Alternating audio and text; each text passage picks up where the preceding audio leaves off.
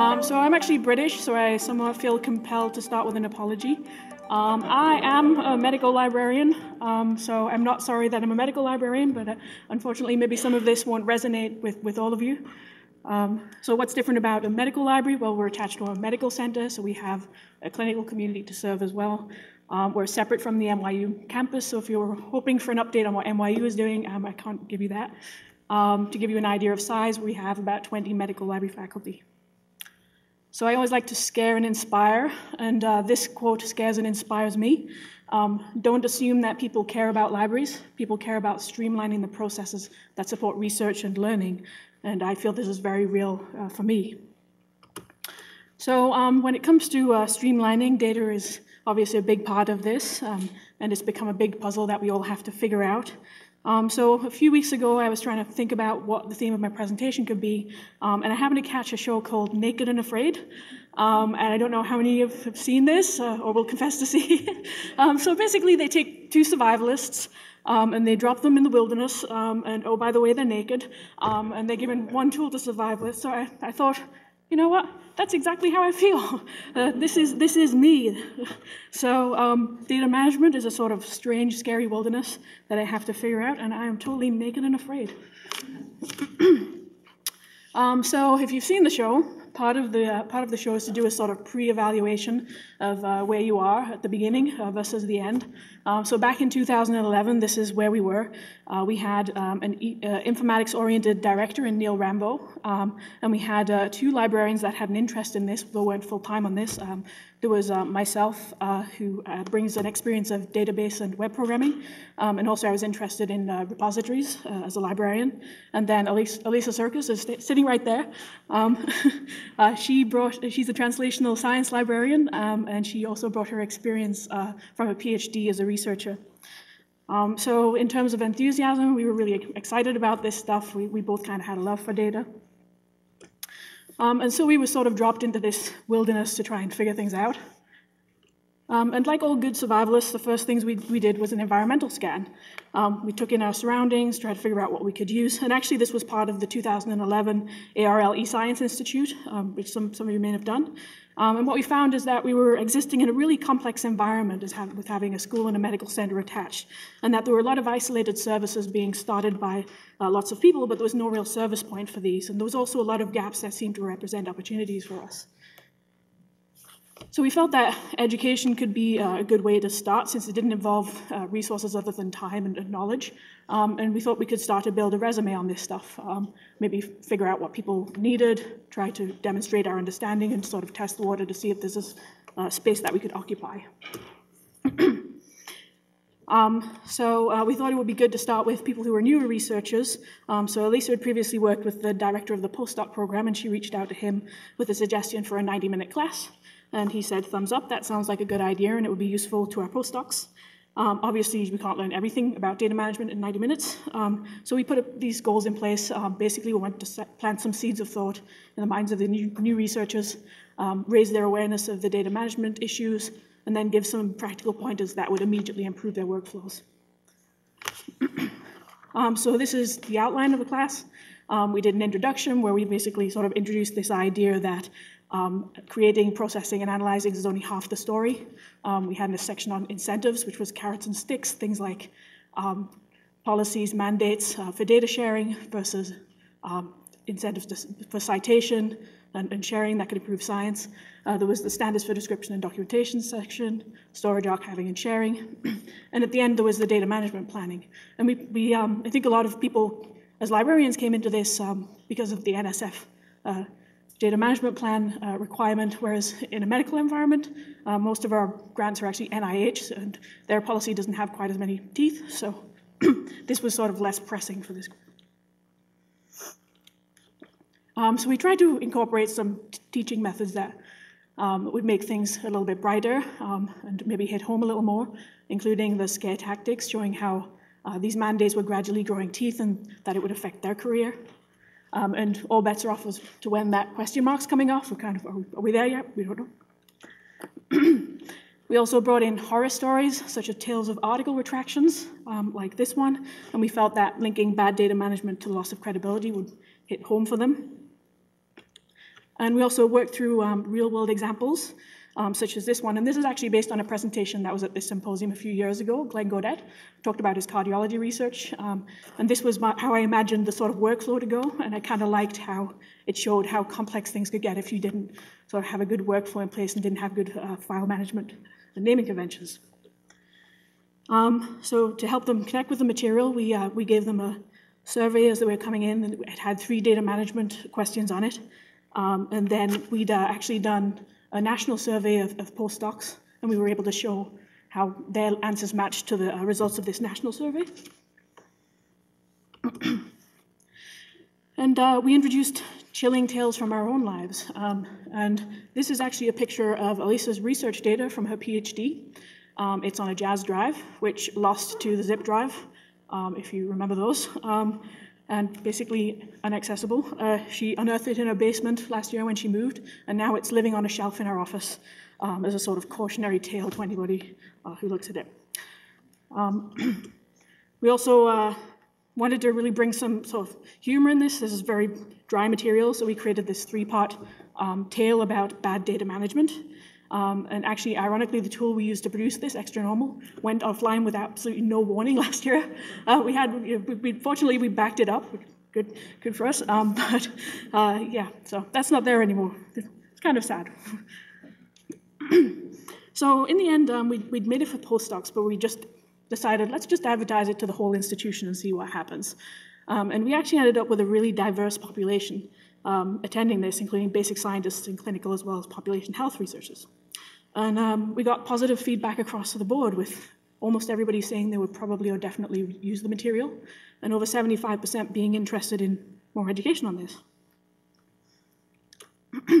so we felt like we'd, we'd built something solid, we'd built a raft, something we could maybe use to, to sail down this river. but um, we needed to keep honing our skills. We'd done a lot of research for the class, so we felt like we'd learned the policies and things that were happening outside of our institution. Um, but we didn't feel like we had a solid grasp of what it was like to be a researcher within our institution and what kind of data support was available. Um, so, still, to some degree, living in my little tank, I kind of needed to get out there and experience this. Um, so, around this time, um, the library had birthed the Division of Knowledge Informatics and added its first member, Theodora Bakker. And uh, she came to us from the Medical Center's Electronic Health Record Implementation Team.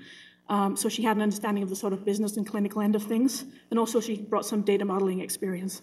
So we saw this as a bridge to potential new opportunities and also a cool name for our data management services.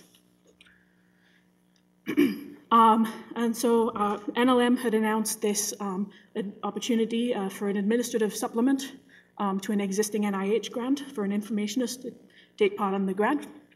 Um, so we applied for two of them. We got them both, and I worked on one of them. I'm going to talk about that for a while. Um, so um, our grant was this one, Clinical Management of Cochlear Implant Patients with Contralateral Hearing Aids, uh, with Mario Swirsky and Arlene Neuman. Um, and just so you understand what that is, it's uh, it, people with studying people with a hearing aid in one ear and a cochlear implant in the other.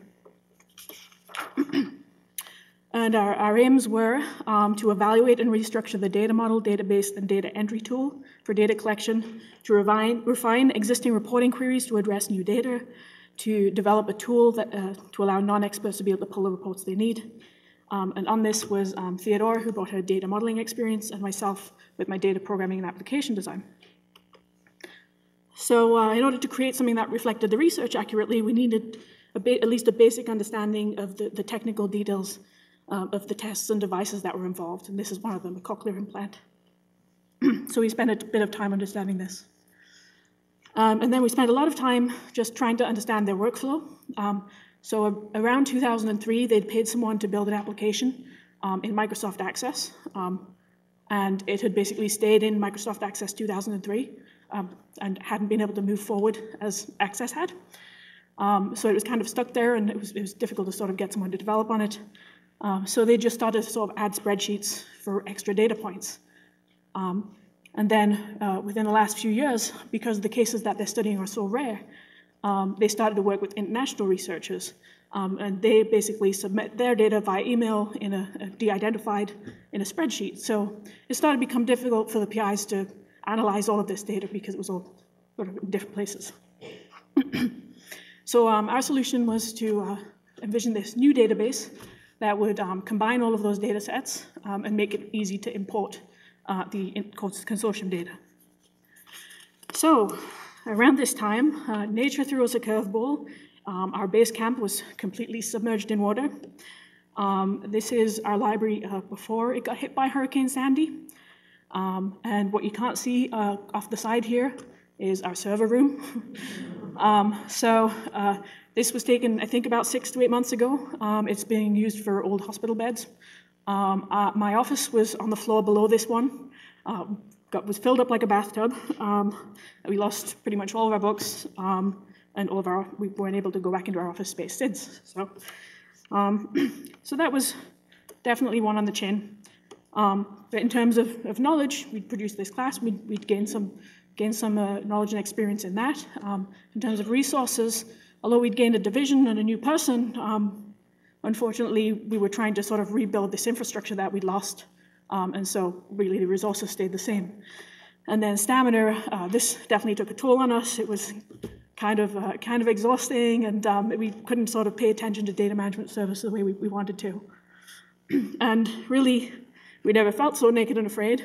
Um, all of a sudden, we didn't have a physical identity, um, and we needed to really be demonstrating what we could do through our services. um, so, um, in the in the in the winter of, of our uh, discontent, um, we we put this uh, on YouTube. It was just sort of random thing, just timing happened to go up there, and um, within a few days, it was picked up by Creative Commons, and they tweeted it, and uh, it was retweeted, and all of a sudden we had 3,000 hits, and we were kind of like sort of stunned by this. Um, but uh, it was just sort of came at the right time. We needed that morale, morale boost around this stuff, and uh, like, okay, so maybe maybe this is good. Maybe we can go back and take a look at this class we did and see what we can do with it.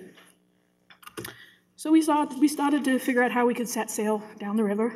Um, and around this time, we were joined by uh, Kevin Read as the NLM Fellow, um, and he uh, quickly became liaison to emergency medicine in the basic sciences department.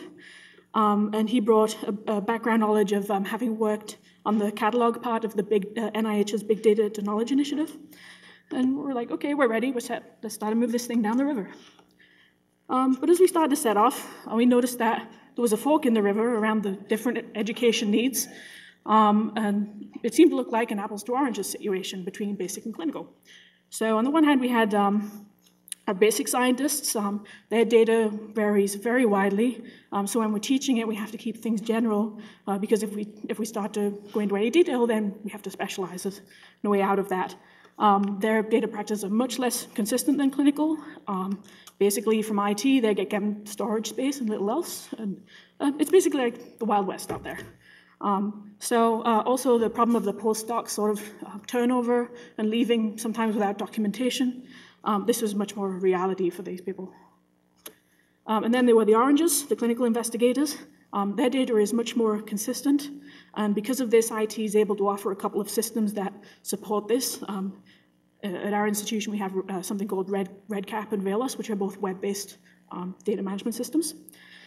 Um, and also, these people have a greater recognition of the value in sharing. Um, and if you think of the idea of a meta analysis, it kind of makes a lot of sense. so, our strategy for the basic scientists um, was to continue to teach the class to the postdocs.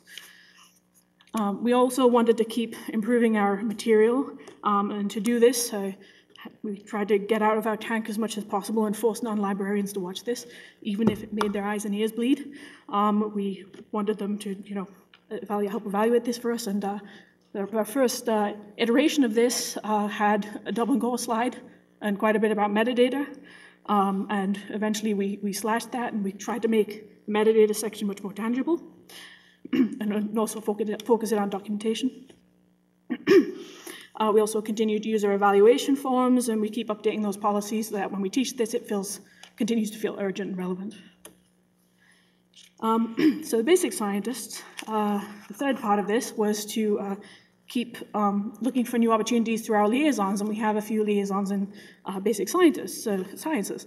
And so why the beer glass, you might be wondering. Um, so Kevin recently presented this to the PIs in his basic science liaison group, and they were actually really, they hadn't heard that we could teach this, and they were excited about this. Um, so we've secured a 30-minute time slot um, to teach all of the students and postdocs in this one, one institute. Um, but it's pre their happy hour, so um, a little concerned about how it's going to go with us being between them and their beer, um, but I'm keeping my fingers crossed. So, and for the clinical, so um, as I said, we opened up the class to a, a really broad audience, and we got good feedback from everyone. So we thought, let's see how we can use this in clinical. Um, so we approached someone called uh, Jim Robertson, who's a clinical data expert at our institution, and he has over 30 years of experience of this stuff. And we, showed, we were able to show him what we had, and um, it was very clear that we, our approaches were very complementary. So while we were interested in sort of big picture policies, data sharing, and preservation, um, he was really focused on the sort of day-to-day data integrity issues. Um, so we decided to try to create a series of short modules for these busy clinicians um, who don't have a lot of time to, to do huge education programs. So um, we worked with Jim to come up with an initial, an initial list, and uh, this was it. We, we anticipate that these will be five to 10 minutes each, and they will be online. Uh, the blue ones probably look more familiar. These are things we felt we could handle, um, and the red ones were thing, things we wanted uh, Jim to help us with the content for. Um, and so uh, in the midst of this, it was unclear what our outlet was going to be. So we kind of wanted to create some kind of uh, calling card or an example of what we could do. So we started with a module zero, and this was called How to Avoid a Data Management Nightmare, the teaser. so um, in the meantime, an opportunity arose for Alisa to join a new working group um, to develop an education program for clinical investigators. And um, we thought maybe this would be a good outlet for the modules. Um, and this group definitely recognized that data management should be part of this, uh, this education program. Um, so we submitted a short list of modules, um, and we were able, by this point we'd finished our module zero, and were able to show them, show them what we had. And uh, I will hopefully be able to show you what we gave them.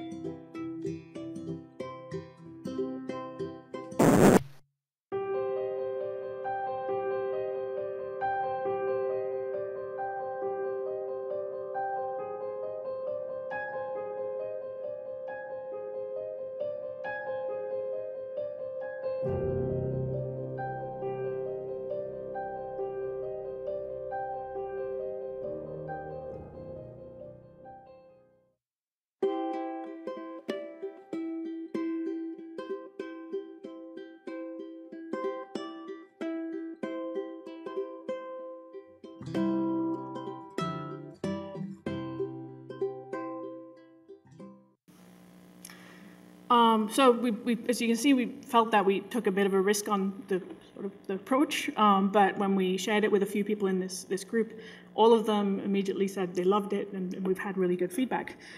Um, so um, we're ready to move forward on that one. so um, going back to my informationist project, um, our researchers had been unable to access their lab for four months because of the, the hurricane. And when they finally got back in their lab, they, they invited us back to restart the project. And if you recall, this was the aim, this new database, and um, we sort of went into this being aware that there was these clinical data management systems, not really having a lot of experience with them, but thinking that these could be um, useful for this. So we started there, we um, evaluated these, um, but because he was starting with quite a complex data model, it very quickly became apparent that we couldn't use either of these. Um, so we were forced to go back to thinking about Microsoft Access. Um, so looking at that, it was going to take quite a bit of work to bring it up to the current access. Um, was going to be development time involved in adding the new features they wanted.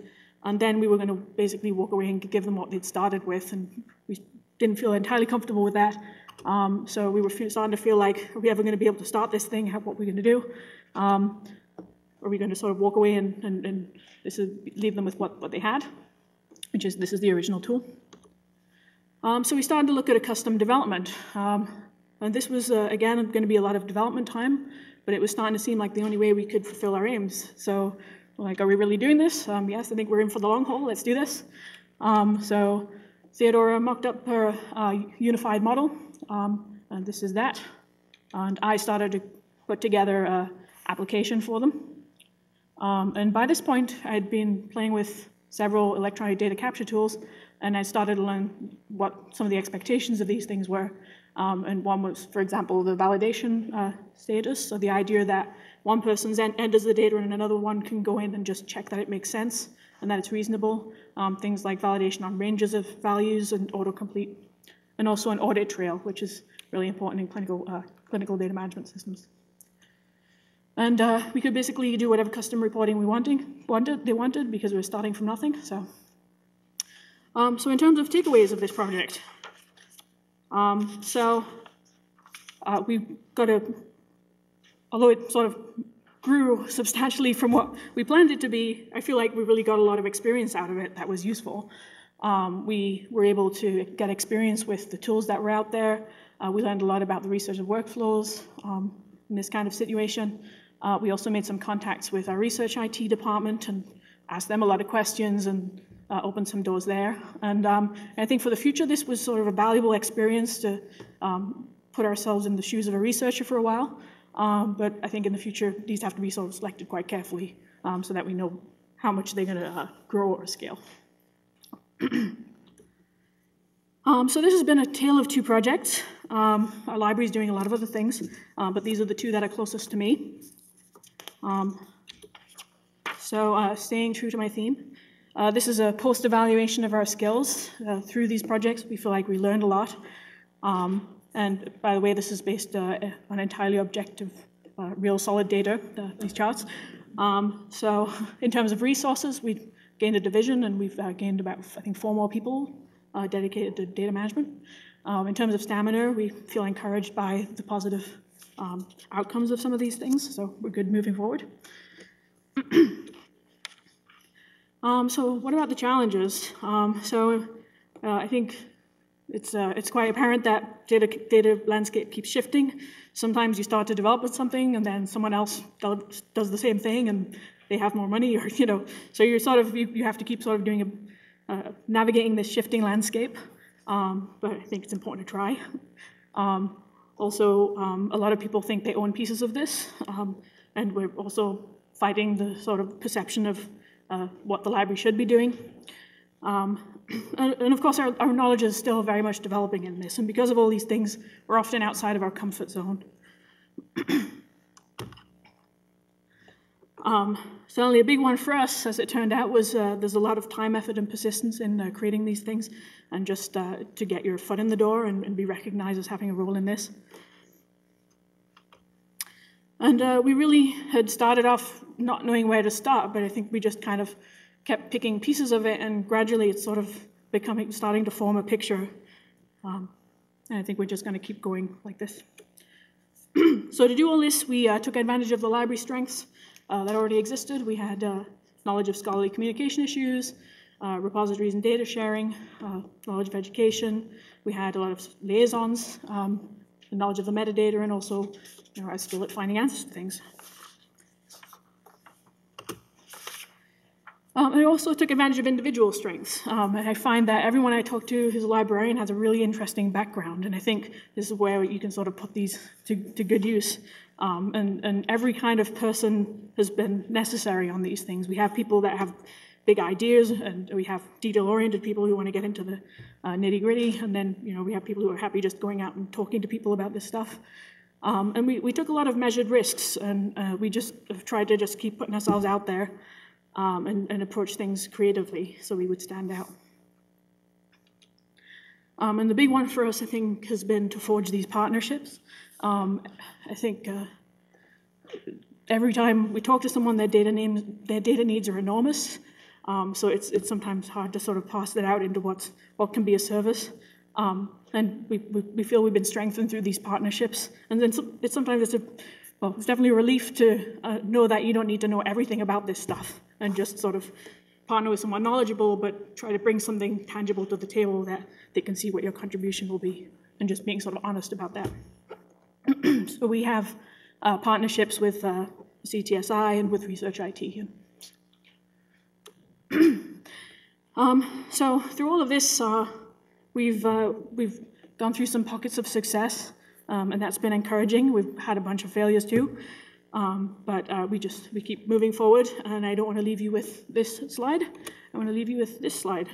Um, our story is far from over. Um, we're going to keep uh, getting through that jungle, um, and the story is to be continued. Uh, I want to acknowledge my fine colleagues, um, as well as the researchers on the Informationist Grant and our grant supplement funders.